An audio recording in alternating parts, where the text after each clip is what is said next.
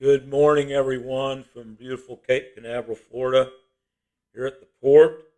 We're glad you're with us this morning. We are live, and uh, wherever you're at, uh, I'd like for you right now to join me in going to our Heavenly Father and just asking Him for our blessing, for His blessing on this time together. Father, we do come before you to ask you for your blessing to overcome our weaknesses to enlighten our eyes and to, to uh, interpret uh, your word into our ears so that it will penetrate our heart. We ask this in Jesus' name. Amen. I'd like to uh, start with our uh, time together this morning with a little song here.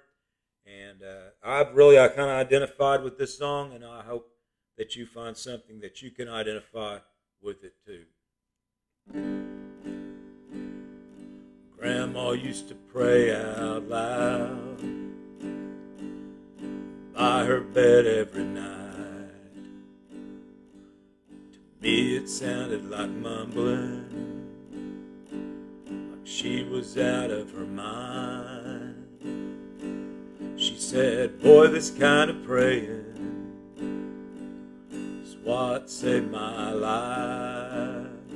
You ought to try it sometime. Now I know she was right.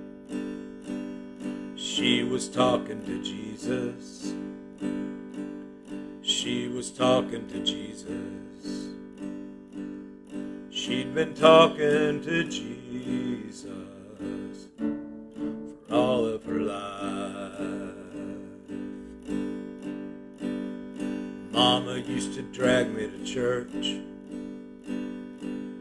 Sunday mornings and Wednesday nights. Khaki pants and a polo shirt. Boy, I'd put up a fight. She said, Son, one day you'll thank me for having God in your life. Yeah, I know she was right. Yeah, my mama was right. Cause now I'm talking to Jesus. She got me talking to Jesus. She got me talking to Jesus. Yeah, my mama was right. Cause now I'm talking to Jesus.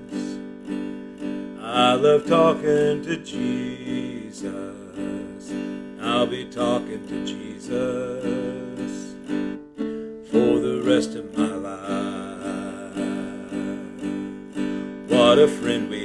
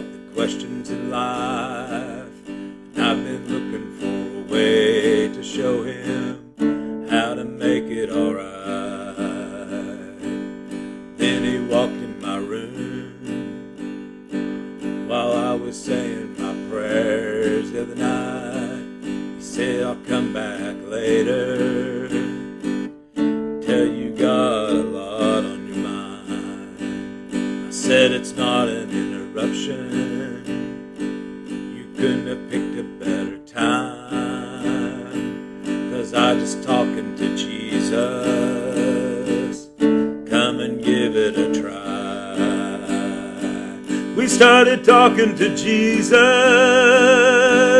We started talking to Jesus.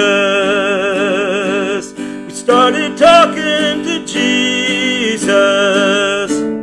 Whoa, now he's talking to Jesus. Thank God he's talking to Jesus. I hope he's talking to Jesus for the rest of his life.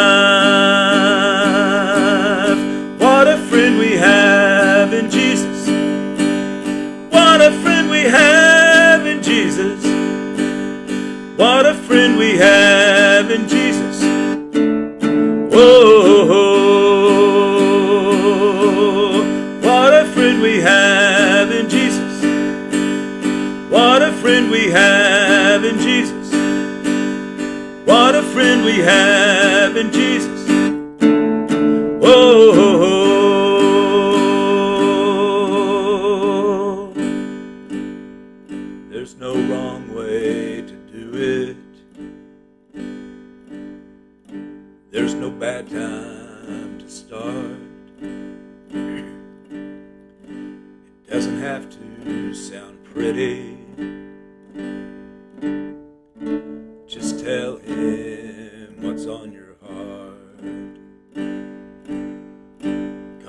not a religion, no.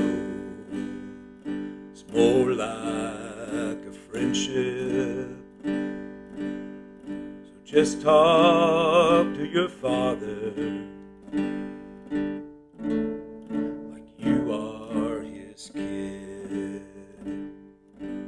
And just talk to Jesus. Just start talking can talk to Jesus whenever you like. Just start talking to Jesus. Just start talking to Jesus. You can talk to Jesus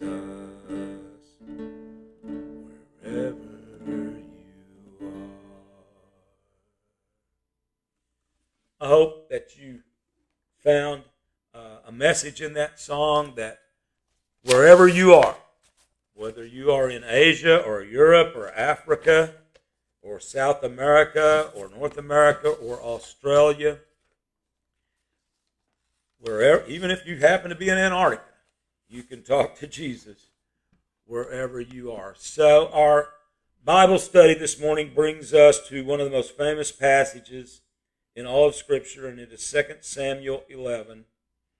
And I want to read the passage. And again, many of you will uh, already be familiar with this story. In the spring of the year, when kings normally go out to war, David sent Joab and the Israelite army to fight the Ammonites. They destroyed the Ammonite army and laid siege to the city of Rabbah. However, David stayed behind in Jerusalem. Late one afternoon, after his midday rest, David got up out of his bed and walking on the roof of the palace, as he looked over the city, he noticed a woman of unusual beauty taking a bath. He sent someone to find out who she was, and he was told she is Bathsheba, the daughter of Eliam and the wife of Uriah the Hittite. Then David sent messengers to get her, and when she came to the palace, he slept with her. She had just completed the purification rites after having her menstrual period. Then she returned home. Later, when Bath- Bathsheba discovered she was pregnant, she sent David a message saying, I'm pregnant. Then David sent word to Joab, Send me Uriah the Hittite. So Joab sent him to David. When Uriah arrived, David asked him how Joab and the army was getting along and how the war was progressing. Then he told Uriah, Go home and relax. He even sent a gift to Uriah after he'd left the palace. But Uriah did not go home. He slept that night at the palace entrance with the king's palace guard. When David heard that Uriah had not gone home, he summoned him and asked, What's the matter? Why didn't you go home last night after being away for so long? Uriah replied, The ark and the armies of Israel and Judah are living in tents, and Joab and my master's men are camping in the open fields. How could I go home to wine and dine and sleep with my wife? I swear that I would never do such a thing. Well, stay here today, David told him, and tomorrow you may return to the army. So Uriah stayed in Jerusalem that day and the next. And David invited him to dinner and got him drunk. But even then, he could not get Uriah to go home to his wife. Again, he slept at the palace entrance with the king's palace guard. So the next morning, David wrote a letter to Joab and gave it to Uriah to deliver. The letter instructed Joab Station Uriah on the front lines where the battle is fierce, then pull back so that he will be killed.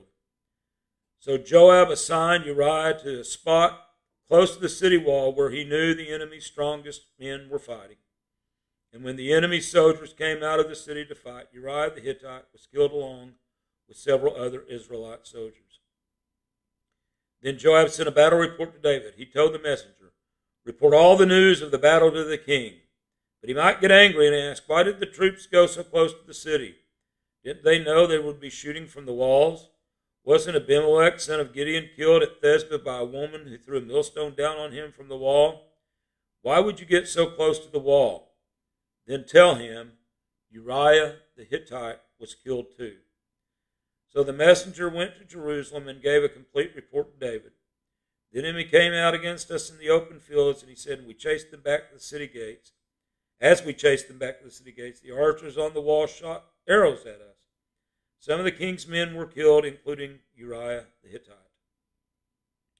Well, tell Joab not to be discouraged, David said. The sword devours this one today and that one tomorrow. Fight harder next time and conquer the city. When Uriah's wife heard that her husband was dead, she mourned for him. When the period of the mourning of her mourning was over, David sent for her and brought her to the palace, and she became one of his wives. Then she gave birth to a son but the Lord was displeased with what David had done. Now, if you've been with us this time, all these uh, days, you, you know that uh, these, these things are recorded for us in the Scripture for three reasons. One, they actually happened. Two, they're written for us, for us to learn from them. And, and three, and the most important one is they point us to Jesus.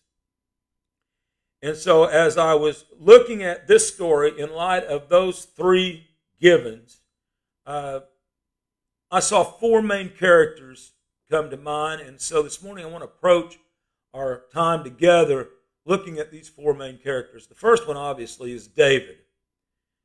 By this time, he's firmly entrenched as king of all of Israel. And yet, here he is at the height of his apex. He is, he has gone through all of his life and he has now reached the pinnacle of success. He's at the highest point he's ever been in his life. He makes a serious mistake, a fatal mistake. And, and whatever situation we find ourselves in, we would do well to avoid making this kind of mistake. And we don't want us, we don't want our story to, to be written with the last words that Samuel wrote in this chapter, but the thing David did displease the Lord. So let's look at David. It was springtime. It was time when when the kings go out to battle.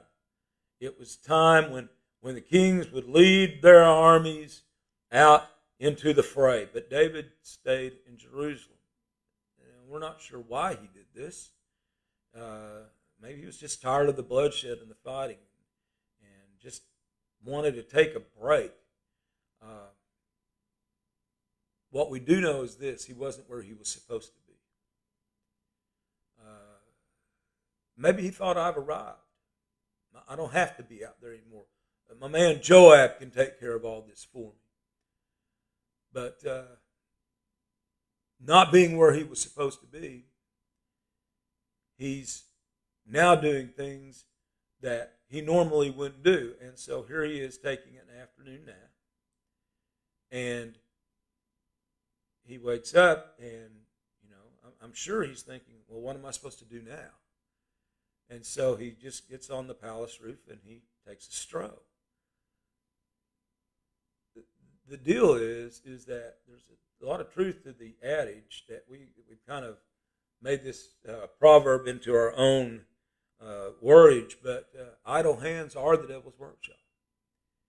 And when we are not where we're supposed to be, whether that be physically, or mentally, or spiritually, all of the above, we become a target of our enemy. And we know from the New Testament that uh, our enemy, his only go is to seek and devour. And that's what he did here with David. Okay, we saw in verse 2 that as he's taking this stroll after his nap, he sees this most beautiful woman. Now, that first glance, that first look, was not the sin. Those things happen all the time. But David then went past the first look. He then inquired to who she was. We know from James chapter 1 that each person is tempted when they are dragged away by their own evil desire and enticed. Then, after desire has conceived, it gives birth to sin. And sin, when it is full grown, gives birth to death. That describes exactly what happened to David. I wonder if James may not have had this incident a thousand years uh, before in Israel's history in mind when he wrote those words. So we know what happens. He sends for her, he sleeps with her, he sends her away to her own house. She sends word back to him that she's pregnant. His sin has now put him in a bind. What do you do in that situation? Whether you have found yourself in this particular situation or any other situation where your sin has put you in a bind, what do you do? What is your response? Well, a good rule to live by, whatever the situation is, is when you find yourself in a hole, quit digging. But David kept digging.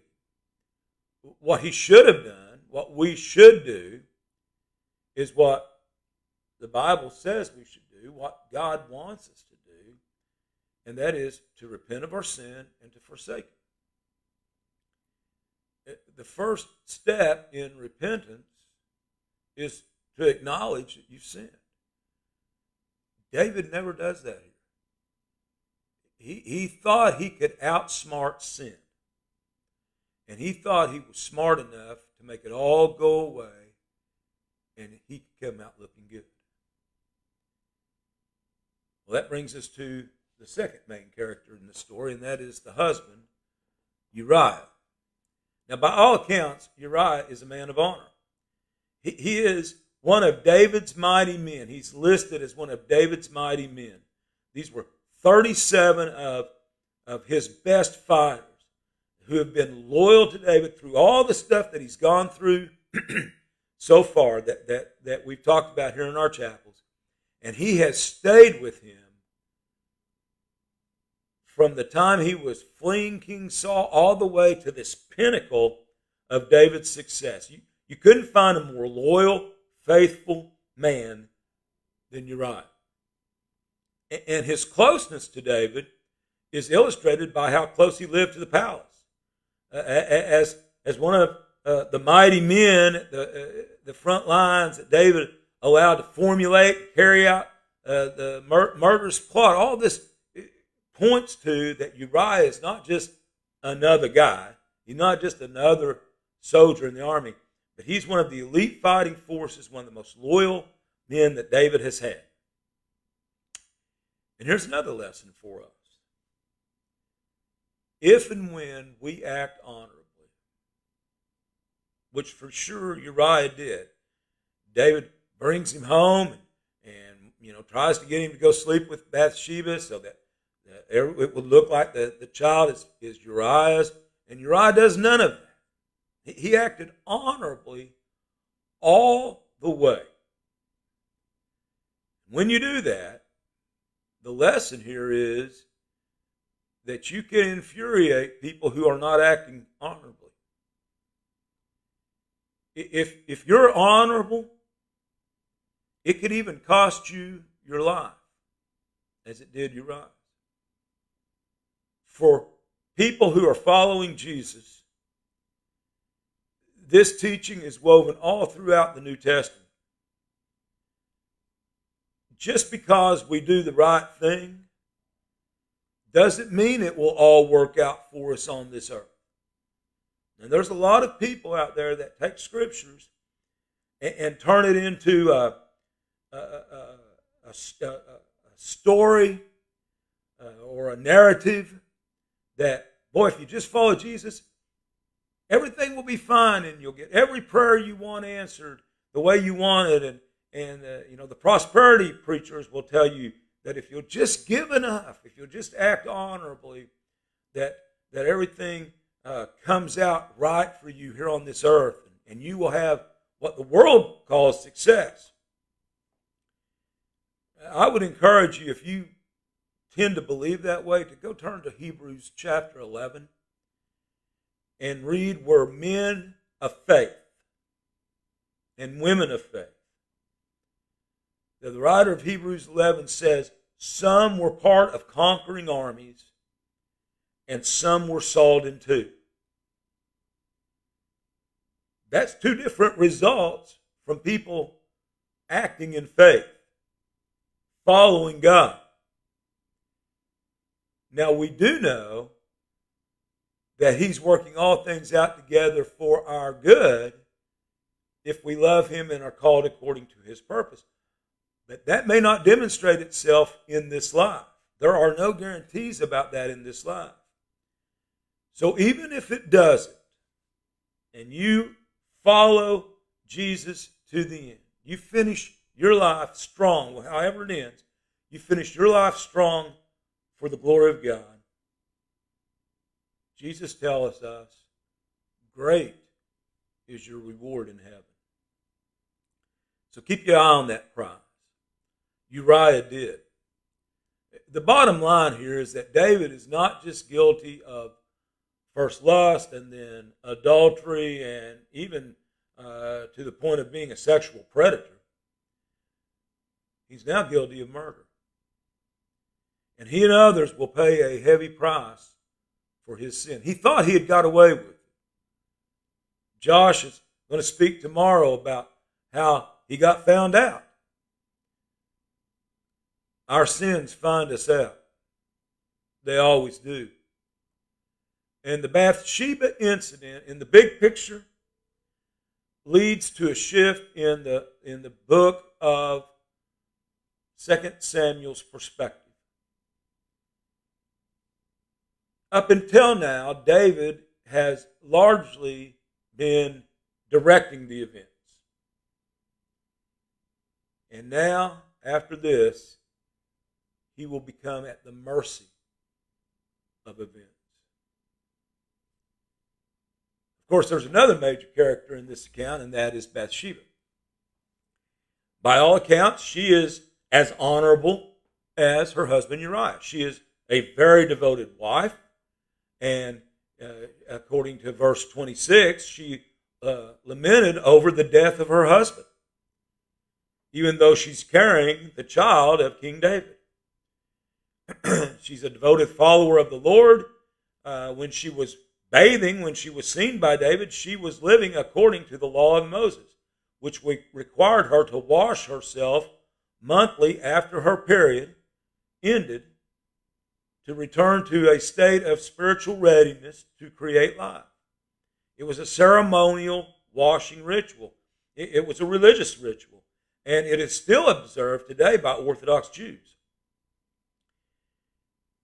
there's been a narrative spun about her that it was her immodesty that caused David to sin, that she was a, uh, like a co-conspirator here.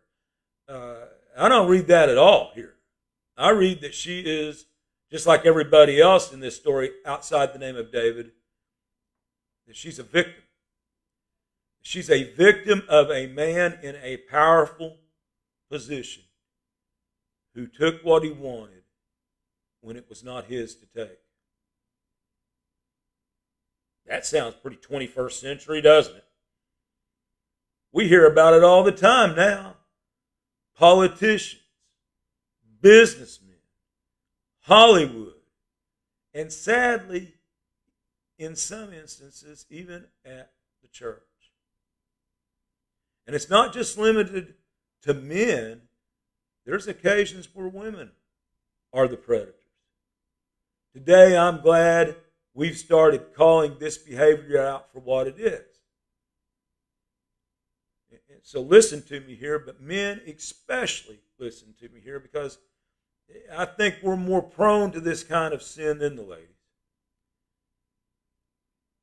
Women are not the cause of our sexual sin. We are. And we are alone. We are responsible for what we do and how we treat women. Of course, the opposite of the David Bathsheba story is the story of Joseph in Genesis, where Potiphar's wife is trying to use her position to become a sexual predator on Joseph. Joseph could have succumbed to the temptation, but he acted honorably as opposed to David, and he fled the situation. He could have said, Okay, I will, and then when people ask, he'll say, Well, she was the reason, but he didn't do that. So let's let's kind of wrap that part of this study up with this idea. Regardless of the situation, we are responsible for the way that we live, and that includes in our sexuality. Well, that, that leads us to the fourth major character here, and he is the third reason that this is recorded for us. This is recorded for us, and of course, I'm referring to Jesus. And I want us to turn our attention in our remaining time to Matthew chapter 1 where we find the Jewish genealogy of Jesus. Of all of the interesting characters and background stories in this genealogy, and I would encourage you not to skip over this genealogy when you pick up the New Testament and start to read, and, and it's this what we call boring genealogy. It's only boring if you don't know anything about the people named in the genealogy. If you know what if you know the stories about what is named, who is named in the genealogy, th- this is a fascinating uh, account of the lineage of Jesus. In verse 6, and here's a great example. In verse 6, we find these words And Jesse, the father of David the king, and David was the father of Solomon by the wife of Uriah. This may be one of the greatest ironic understatements of all of the Bible. If you know nothing about David and Bathsheba, wouldn't you find it strange that her name isn't mentioned? Well, what Matthew is doing here by recording it this way is he is summoning us to recall this tragic and terrible event in Israel's history. Why, why did he leave her name on? It, it's not a slight to her, it's a slam at David. It's to show us that out of this dysfunctional family, and if you read the genealogy, and you go back and look at the stories about the people in the genealogy, you can see that this family is totally dysfunctional. We've been doing that actually in our chapels here at the, at the Seafarers Ministry. The study of the Old Testament is the study of the genealogy of Jesus. And it all hasn't been this perfect family by any stretch of the imagination. It's been totally dysfunctional. And yet, out of that flawed family, and out of this flawed man, in 2 Samuel chapter 11, Jesus came.